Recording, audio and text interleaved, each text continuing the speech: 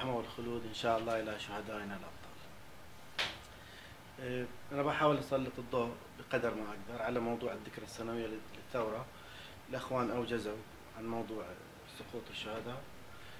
آه، سأحاول في العجالة التي أنا أتناول فيها الموضوع أن أركز قليلا على موضوع الذكرى السنوية الذكرى السادسة الذكرى السنوية السادسة لانطلاق آه، ثورة اللؤلؤة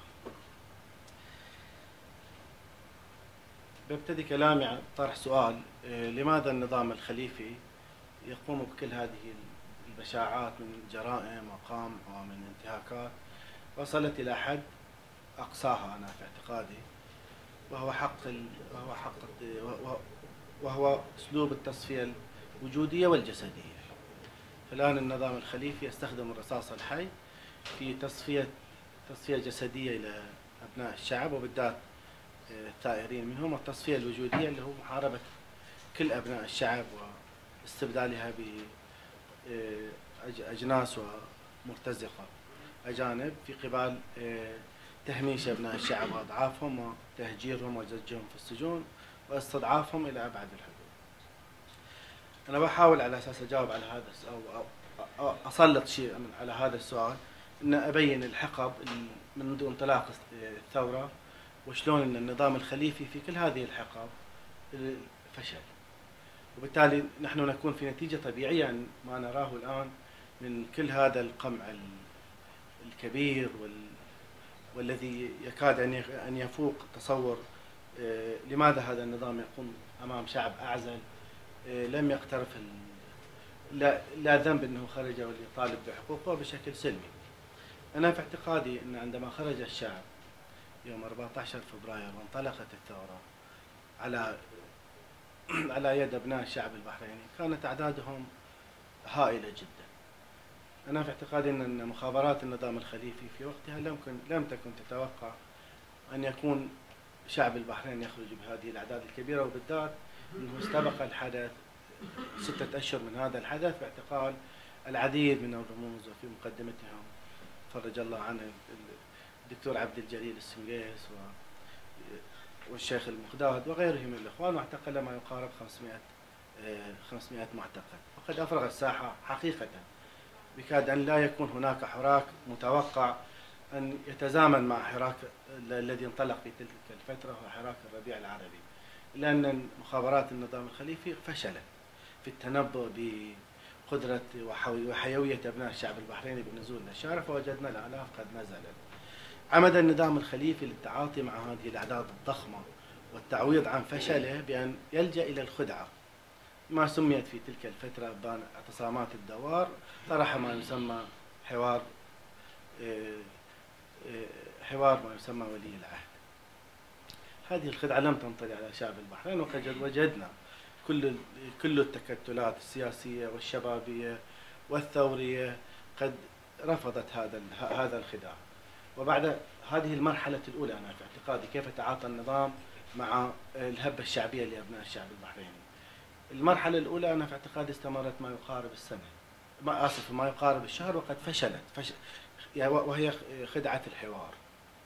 ومن ثم النظام بدأ تدشين المرحلة الثانية وهي مرحلة الاستعانة بالنظام العساكر أو الجيش المحتل السعودي وفرض الأحكام العرفية. اعتقالات واسعة لأبناء الشعب استمرت لمدة ثلاثة أشهر أكثر من ثلاثة أشهر ولكن الأحكام العرفية لثلاثة أشهر. وكانت خلال هذه الفترة إفراغ كل الساحة من ما هم ما هم نشطاء وما هم ينادون بموضوع إسقاط النظام كان يعتقد النظام أن هذه الخطوة سوف تكون ناجعة. وقد نستشف هذا الكلام من كلام أحد أركان هذا النظام ما يسمى وزير خارجيته عندما سأله أحد الصحفيين وصحفي سي إن إن.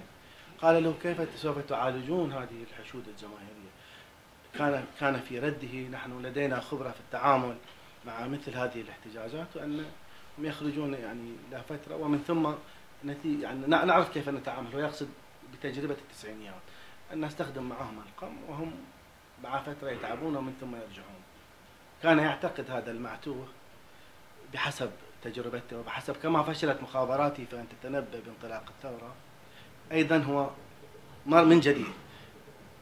يفشل في موضوع التنبؤ في كيف التعامل مع هذه الثورة فكان يعتقد عندما كان يقول عندما كان يتحدث بأننا لدينا خبرة في التعامل معهم.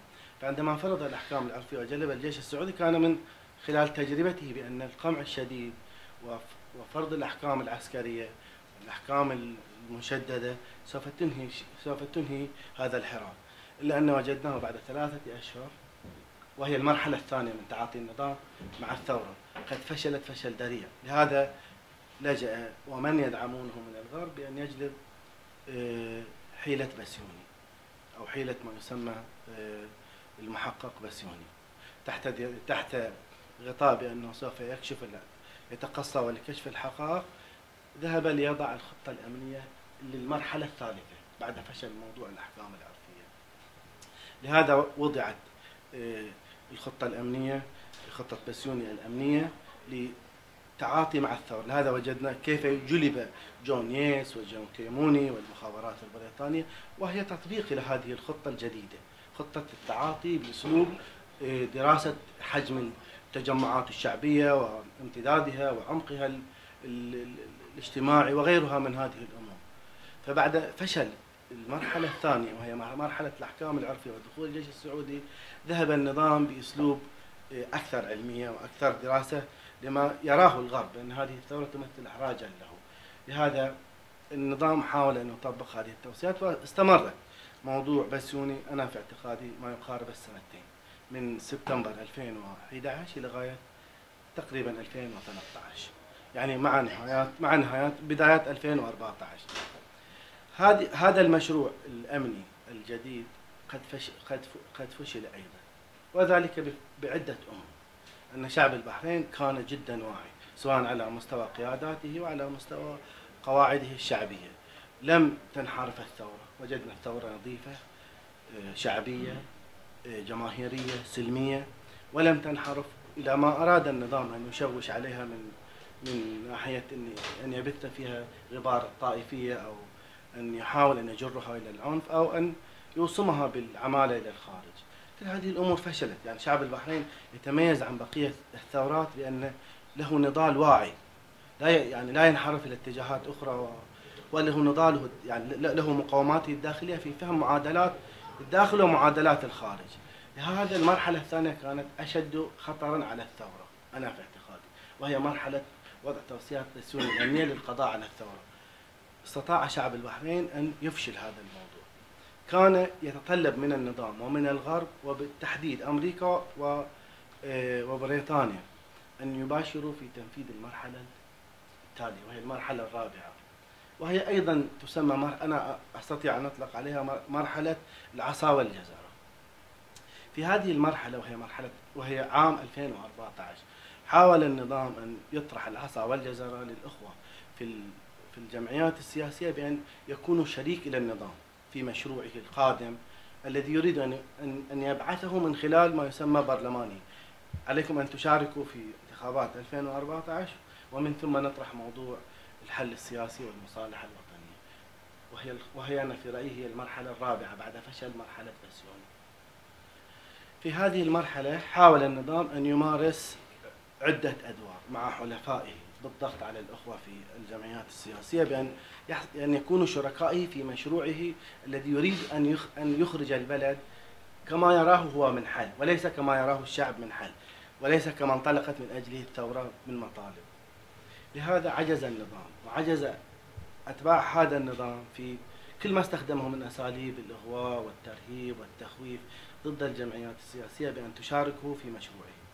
وذلك بفضل وعيهم وثباتهم وإخلاصهم إلى قضية شعبهم. لهذا رفضنا كل رموز الجمعيات السياسية وكل ومن يخ ومن يت يعني ومن يتبعهم وبالذات العلماء قد رفضوا الانخراط في هذا المشروع لأنهم يرونه في تضييع إلى جهود آه، آه، الثورة. خلال هذه السنوات الآن سوف نبتدئ في 2015 الآن 2011 و2012 و2013 و2014 أربع سنوات من عمر الثورة. رافق كل هذه الأساليب حضور شعبي عارم في الشارع. وجدنا أن الاحتجاجات كانت كبيرة ولم تنقطع في يوم من الأيام. وبالتالي النظام يعني النظام وداعميه الغربيين والمحليين. المحليين دعموه بالسلاح وبالحضور وبالمال. وبالتالي قدموا له كل أشكال الدعم. لأن الشعب يعني مصر على موضوع الحضور للشارع والاحتجاج. يعني هذا هذا مو مو شيء مو شيء طبيعي. أربع سنوات كل الثورات الأخرى أما تم قمعها وإنهائها أو آه، الالتفاف عليها أو أو إدخالها في نفق مظلم من خلال جلبها إلى العنف وإلى السلاح إلا إلا ثورة البحرين استطاعت أن تتعدى كل هذه المطبات وكل المراحل التي أشرت إليها وذلك بفضل تكامل الأدوار بين معتقليها وبين رموزها في الداخل وشبابها وكل القوى في الخارج وفي الداخل. الآن النظام انتهج منهجا آخر بعد فشل مشروعه أن يجد له شريك في آه، الانتخابات مال 2014 باشر في هذه الفترة بالموضوع القضاء على كل القوى آه، الثورية. وكان عام 2015 أنا في اعتقادي هو يمثل المرحلة الخامسة من مشروع النظام الأمني للقضاء على الثورة. وبالتالي باشر في هذه الفترة عن طريق الاستعانة بالمخابرات الغربية وبالذات أجهزة التنصت بان بأن يتنصت على كل عصب وتواصل للقوى الشبابية والثورية، لهذا وجدنا في عام 2015 امتاز بالاعتقالات الكبيرة جدا للمجموعات الشبابية التي تستخدم وسائل التواصل الاجتماعي وذلك بفضل تعاون أجهزة أمنية هنا في الغرب وبالذات في بريطانيا في مساعدة هذا النظام، لهذا وجدناه يعطونا الشباب لهذا لهذا وجدنا النظام في هذه الفترة يعتقل أعداد كبيرة جدا من المجاميع الشبابية وبالذات في صفوف الائتلاف والحركات الشبابية التابعة إلى آه، تيار الوفاء وغيرها من الأخوة. هذا هذا الموضوع لم لم يتكلل له بالنجاح لأن وجدنا في المقابل الصف المكمل لهذه القوى الثانية والجمعيات السياسية واصلت الحضور في الميدان والتظاهر. لهذا باشر النظام بعدها مباشرة في 2016 2015 و2016 وهو في عام وهو في هذه الفترة الخامسة باشر بعملية القضاء على ما تبقى من القوى الفاعلة في الساحة وهي القوى السياسية.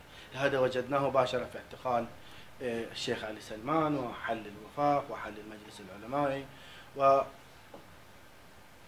وغيرها من كل القوى الفاعلة وإبراهيم شريف وكل وكل مكون سياسي بقى. غير القوى الثورية.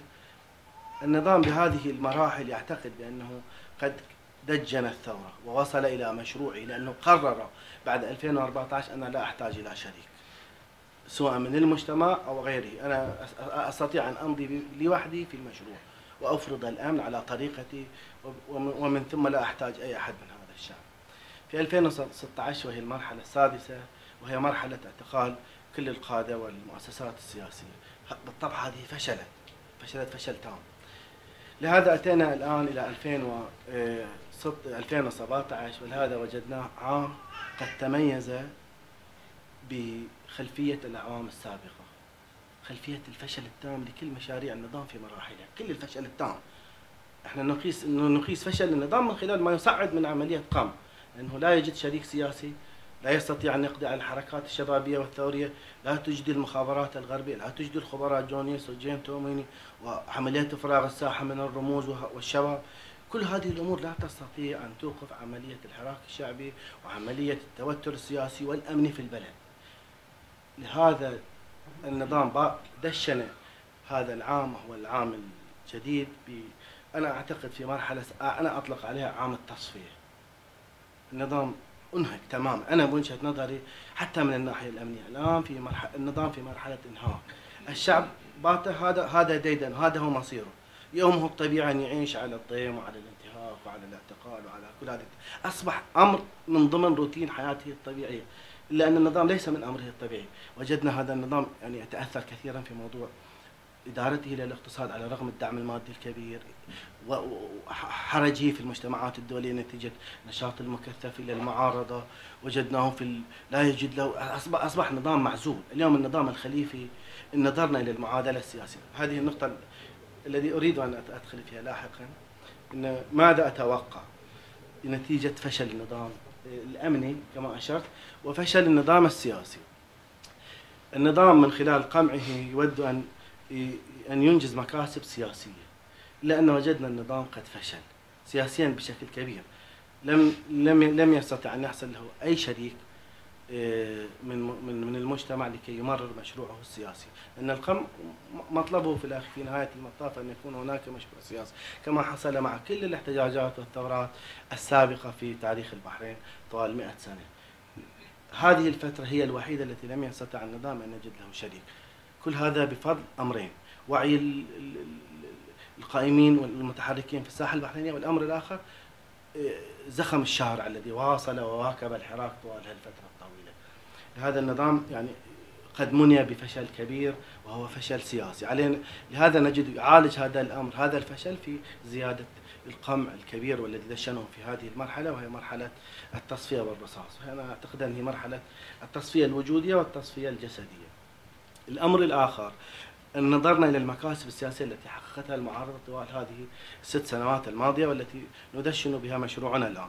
من أهم ما حققته المعارضة انه آه، استطاعت خلال هذه الفترة ست سنوات أن تعزز من موضوع وحدتها الحقيقية. أصبحت فصائل المعارضة مقتربة من بعضها البعض أكثر من أي وقت مضى في كل يعني لو نظرنا لتاريخ 30 40 سنة الماضية إن المعارضة السياسية في البحرين يعني يعني في متقاربة في فكر في مفهومها للوجود المصيري وفي نضالها ضد هذه ضد هذا النظام وعدم الاشتراك معه في أي مشروع سياسي. هذا واحد من هذه المكاسب، المكسب الآخر إن المفاصله التامة أنا في اعتقادي قد أحرز جزء كبير منها، المفاصله التامة بين كل فئات الشعب ومع هذا النظام. انجز شيئا كبير جدا في هذا الجانب ونستطيع الآن ان نبني على هذه المفاصله. المفاصل التي لا تفضي لأن يجد النظام أي مكون من المجتمع أو من المعارضة البحرينية أن يبني معه مشروع هذه واحد من أهم المكاسب الأمر الآخر أصبح أصبح الهدف إلى كل أبناء الشعب وكل فصائله أكثر وضوح وأكثر أكثر. الآن أصبح مفهوم لدى كل أبناء الشعب إن إن إنهم يشتركون في هدف الدفاع عن وجودهم بالإضافة إلى هدف تحقيق مطالبهم. هذا الأمر متبلور بشكل كبير الآن أكثر من أي وقت مضى لكل أبناء الشعب. الأمر الآخر أنا كما أشرت إن ال إن ال موقف على راسي بالي أخلص. أنا أنا كانت بقول الفكرة. خمس دقائق؟ خم... لا خلاص. برنامج خلاص عجل خلينا عجل خلينا أختم الحين في الأخير. إيه إيه ما هو متوقع في هذا؟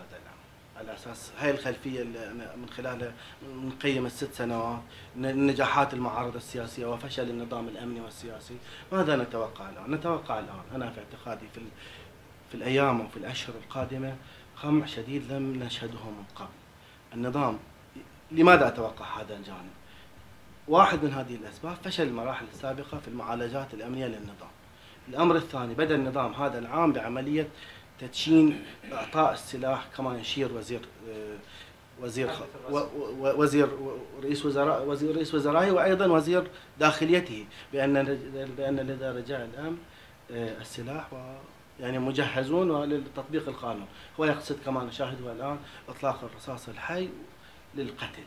فبالتالي هذه المرحلة نتوقع يعني النظام من خلال ما ما ما ما ما, ما طبقه من خلال عملية إعدام السجناء في يوم 14 آه،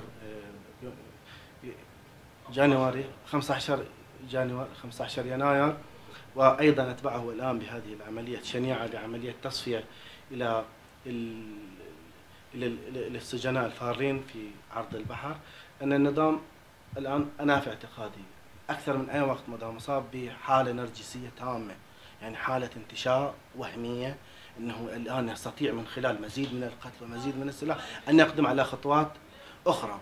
فالمتوقع من خلال الملفات القادمة وهي موضوع آه، موضوع تصفية الشيخ عيسى قاسم بالطرق المختلفة أن يقدم عليه النظام ومن دون هوادئ وبالتالي نحن مقدمون من خلال ما نشاهده في بداية هذا العام إلى عملية يعني عملية قمع شديدة جدا.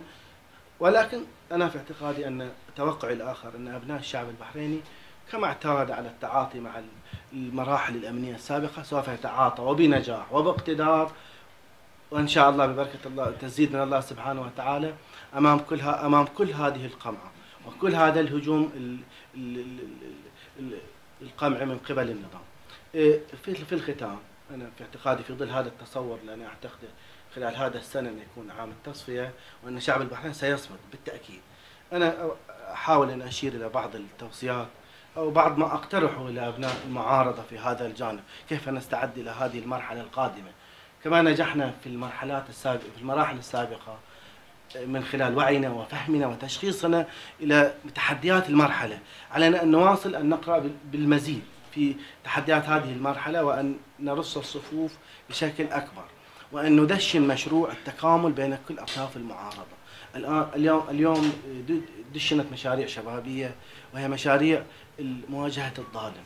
علينا أن, أن, أن, أن كل فصائل المعارضة السياسية والثورية والمشاريع الشبابية أن تتكامل. الآن مطلوب منا أن ننوع في مشاريع مواجهة الظالم لأن مطلوب منا النزول للشارع بكثافة أكبر والمطلوب منا أن نبدع في المشاريع. والآن هناك مشاريع شبابية علينا أن نترك لها المجال لكي تتكامل مع كل المشاريع المطروحة في التصدي للنظام إن شاء الله.